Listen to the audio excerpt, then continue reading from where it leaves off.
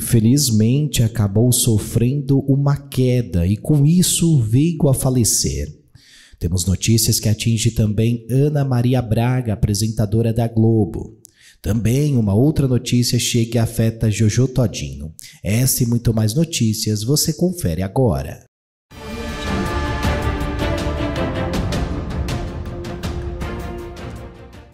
Segundo informações divulgadas pelo site de notícias TV Prime, Jojo Todinho passou por mais uma cirurgia plástica nesta terça-feira, dia 16. A cantora, que já perdeu mais de 50 quilos após uma cirurgia bariátrica, continua se esforçando para emagrecer, conforme relatado pelo jornal Léo Dias. Desta vez, a cirurgia da vencedora de A Fazenda foi para remover o excesso de pele. Juju aproveitou o procedimento para afinar ainda mais a cintura. A fanqueira compartilhou um vídeo com seus fãs onde aparece ao lado de seu cirurgião plástico, explicando que faria o procedimento e recebendo apoio de seus seguidores. Para os fãs de JoJo, esta cirurgia plástica não foi uma surpresa, pois ela já vinha comentando desde o mês passado sobre o desejo de passar por este procedimento para uma reparação. Apesar de se esforçar nos treinos, ela explicou que precisava de uma ajudinha médica. Abre aspas, eu já falei para o meu cirurgião botar o meu peito na bandeja, coisa linda, toda na lipo HD. Eu falei para vocês que este abdômen ia trincar. Não vai ser pela academia, vai ser pela cirurgia mesmo, acabou dizendo Jojo. Segundo o portal Metrópole, Jojo Todinho passou por uma série de cirurgias no Rio de Janeiro. Além da remoção do excesso de pele, os médicos também retiraram gordura das costas e da barriga. Em entrevista a Léo Dias, a cantora revelou e disse: Realizei minha cirurgia hoje com o Dr. Luiz Lima, que fez a minha primeira cirurgia, aliás, todas, e estou retornando porque o bom filho a casa torna. Será maravilhoso, lindo, barriga esticada, cinturinha fina, sem dobrinhas. Os fãs estão ansiosos para verem o resultado da cirurgia. Juju Todinho continua a compartilhar sua jornada de emagrecimento e transformação física, demonstrando sua determinação em alcançar seus objetivos e saúde também. Segundo informações divulgadas pelo site de notícias TV Prime, Ana Maria Braga surpreendeu o público do programa Mais Você nesta terça-feira, dia 16, ao reclamar da Rede Globo de televisão. No final do programa, a apresentadora demonstrou insatisfação com a duração da atração. Ela pediu que o Mais Você tivesse mais tempo no ar, afirmando que sente que seu programa termina muito rápido e que já havia levado esta questão à direção. Ana desabafou ao vivo dizendo o seguinte: abre aspas, gente, eu não sei o que acontece, mas quando eu começo esse programa já está acabando. É um negócio que sempre falo.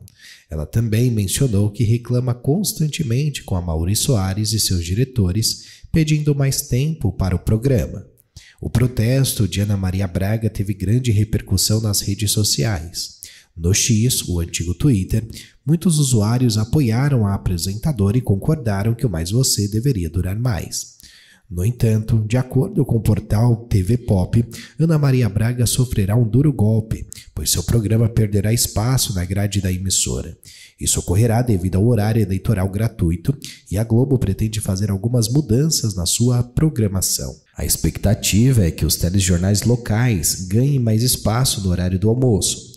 Segundo o TV Pop, foi enviado um memorando às afiliadas da TV Globo informando sobre as alterações na grade de programação. O Hora 1 terá quatro intervalos e o encontro continuará iniciando às nove e meia, com cinco minutos a mais de duração. Em contrapartida, mas você perderá cinco minutos, o que significa que Ana Maria já achava que seu programa terminava rápido, em breve terá mais um motivo para reclamar. Em resumo, a mudança na programação da Globo para acomodar o horário eleitoral gratuito resultará na redução do tempo de duração do Mais Você. Ana Maria Braga, que já expressou sua insatisfação com o tempo atual do programa, provavelmente ficará ainda mais insatisfeita com a nova redução. A situação gerou uma grande discussão nas redes sociais, com muitos apoiando a ideia de que o programa deveria ter mais tempo de exibição. Segundo informações divulgadas pelo site de notícias Área VIP, morreu na noite de terça-feira, 16 de julho, o goleiro Justin Cornejo, de apenas 20 anos de idade, do Barcelona de Guayaquil, devido a um acidente doméstico ocorrido no último domingo, dia 14. O atleta sofreu uma queda no banheiro e bateu a cabeça, resultando em ferimentos graves que a levaram a ser hospitalizado. Justin Cornejo chegou a ser socorrido e levado ao hospital com vida, mas não resistiu aos traumas e sua morte foi confirmada pelo Barcelona de Guayaquil no dia 16, três dias antes do confronto com o Red Bull Bragantino pela Copa Sul-Americana. O clube publicou uma mensagem emotiva em suas redes sociais dizendo o seguinte: Nenhuma palavra ou frase poderá tirar a dor que estamos sentindo neste momento. A memória que nos deixa a todos será o que nos dará força necessária para sairmos disso. Justin, você sempre estará em nossos corações. Descanse em paz, meu amigo. Nós te amamos. A publicação expressa o sentimento de uma perda e homenagem ao jovem goleiro. Vale lembrar que Justin Cortejo já havia sido convocado para a seleção equatoriana sub-20. Deixou um legado marcante entre os colegas e torcedores. Em sinal de luto, o clube suspendeu suas atividades solicitando a Comebol adiamento do jogo contra o time brasileiro.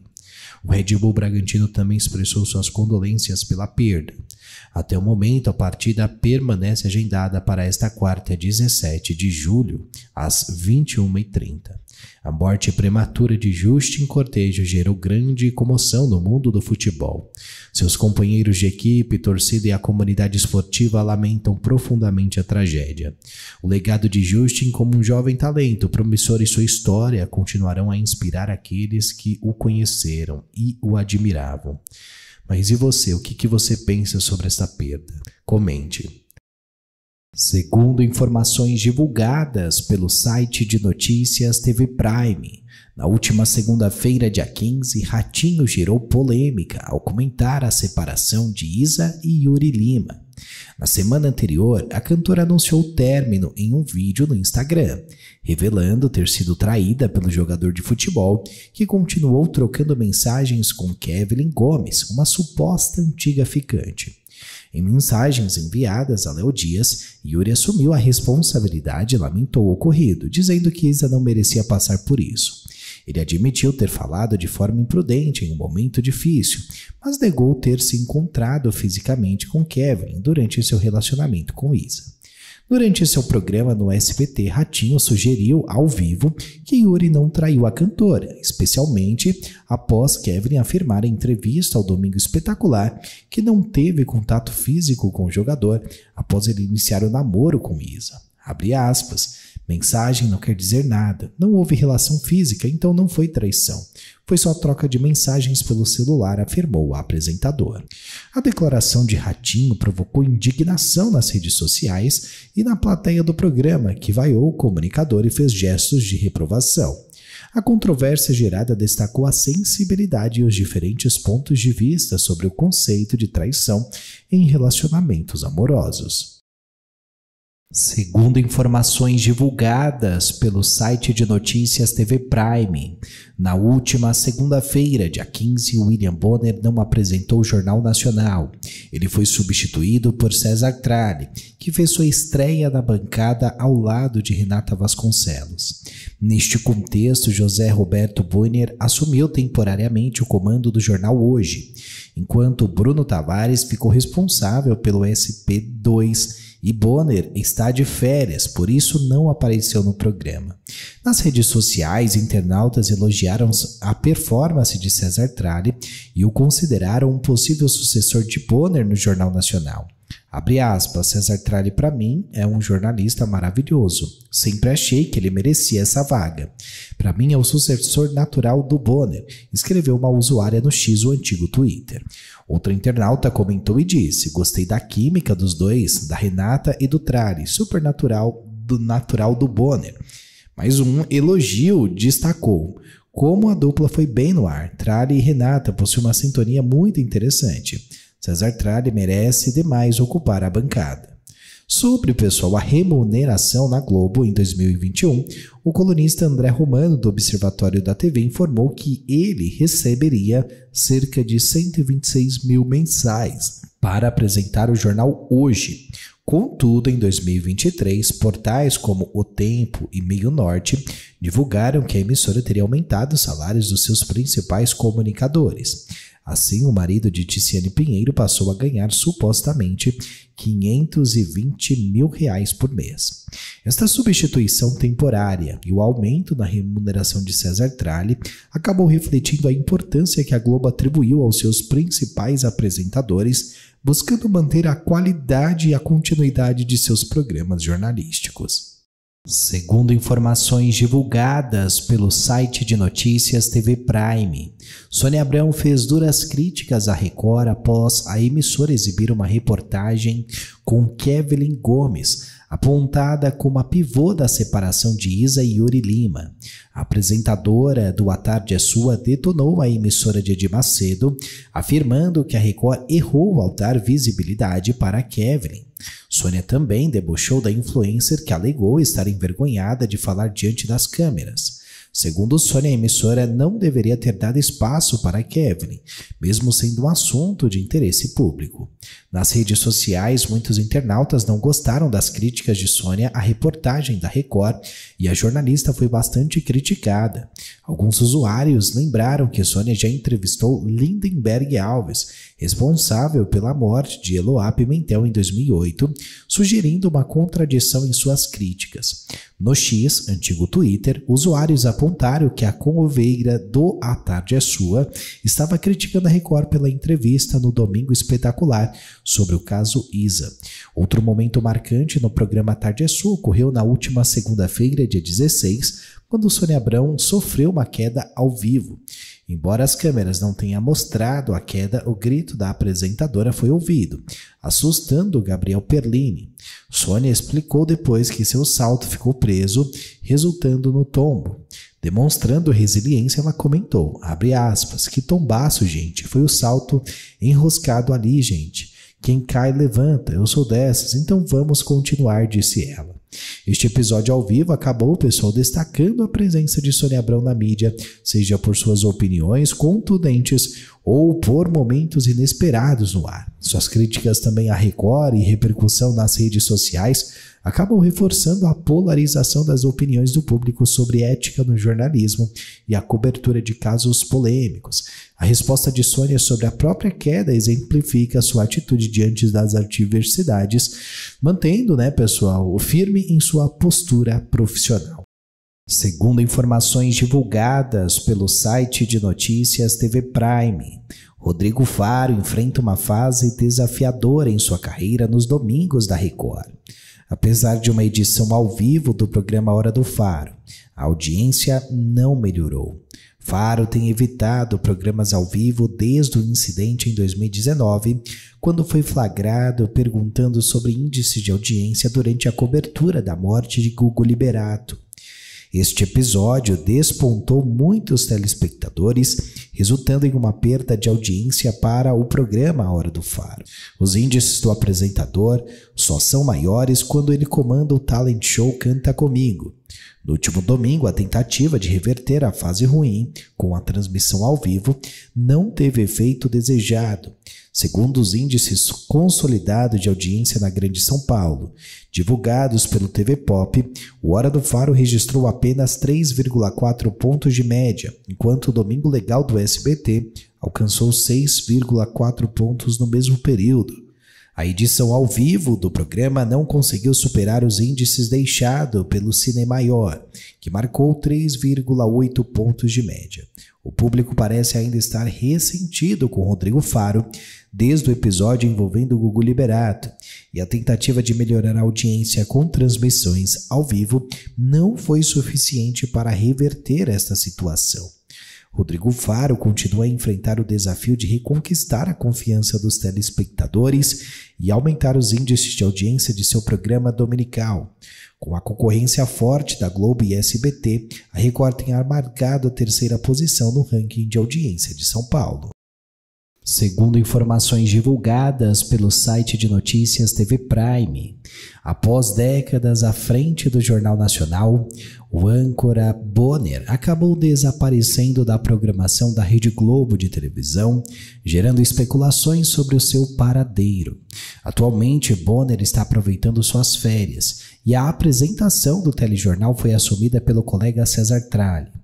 Esta é a primeira vez que Tralli comanda a atração por um período determinado ao lado de Renata Vasconcelos.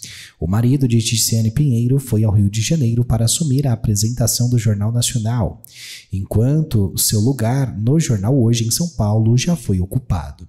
A Globo promoveu um verdadeiro rodízio. César Tralli foi substituído por José Roberto Boiner no jornal Hoje, que por sua vez foi substituído por Bruno Tavares. Nas redes sociais, Bonner tem mostrado como está aproveitando seus dias de descanso. Na última segunda-feira, dia 15, ele compartilhou uma foto do entardecer com um belo fundo verde destacando a beleza da natureza. Além disso, William Bonner tem explorado seu talento para a fotografia, recebendo elogios até de César Tralli. Ele compartilhou duas novas fotos em preto e branco mostrando sua admiração pela natureza, com imagens de um lago e do horizonte. Enquanto Bonner desfruta de suas férias, a cobertura do atentado contra o ex-presidente Donald Trump ficou a cargo de Cesar Tralli e Renata. Uma foto publicada nas redes sociais do Jornal Nacional destacou essa estreia, recebendo felicitações da jornalista pelo novo desafio do colega. William Bonner é um jornalista publicitário e apresentador brasileiro que se destacou como editor-chefe e, e apresentador do Jornal Nacional na TV Globo desde 1996. Bonner iniciou sua carreira profissional em 83 como redator e publicitário. Em 1984, trabalhou como locutor na rádio USP EM. Em 1985, começou a trabalhar na TV Bandeirantes São Paulo. Como apresentador, em 1986, foi convidado pela TV Globo para editar e apresentar o telejornal SPTV em São Paulo. Ele também apresentou o programa Globo Rural antes de se transferir para o Rio de Janeiro em 1988 e assumiu o Jornal da Globo e o Jornal Hoje, tornando-se o editor-chefe deste último entre 94 e 96. Desde abril de 96, Bonner apresenta o Jornal Nacional, sendo também editor-chefe do telejornal desde 99. Segundo informações divulgadas pelo site de notícias TV Prime, José Luiz da Atena, apresentador da Band, comentou em entrevistas ao portais UOL e Folha de São Paulo sobre sua possível saída da emissora caso seja eleito prefeito de São Paulo. Ele também mencionou a redução de seu salário, que ofereceu à emissora devido à crise financeira enfrentada por todas as emissoras. Datena revelou que a Band o procurou para discutir uma proposta de redução salarial de 100 mil reais a 150 mil reais.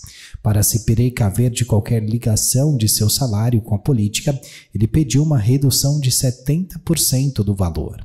A saída de Datena da Band já era algo previsto considerando a crise financeira enfrentada pela emissora. O apresentador destacou que a decisão foi pragmática, afirmando o seguinte: é uma questão pragmática, não tem dinheiro para pagar e eu não preciso de tanta grana para viver, disse ele. Em março deste ano, o programa Brasil Urgente, liderado por Datena, celebrou 21 anos de exibição. Desde sua estreia em 2003, o apresentador tem narrado momentos históricos do Brasil e do mundo, sempre com sua personalidade marcante. As reportagens mais impactantes de Datena no Brasil Urgente incluem a cobertura de situações de emergência e crimes violentos em todo o país. Conhecido por seu estilo de apresentação direto, ele muitas vezes choca os telespectadores com os detalhes das ocorrências que relata ao vivo.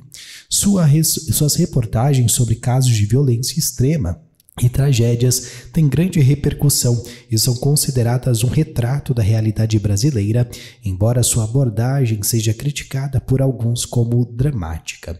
O programa Brasil Urgente é um dos mais populares da televisão brasileira, com uma audiência fiel que acompanha da tela em sua trans, suas transmissões. A popularidade do programa deve-se em grande parte ao estilo marcante do apresentador, que tem mantido o público cativado por mais de duas décadas.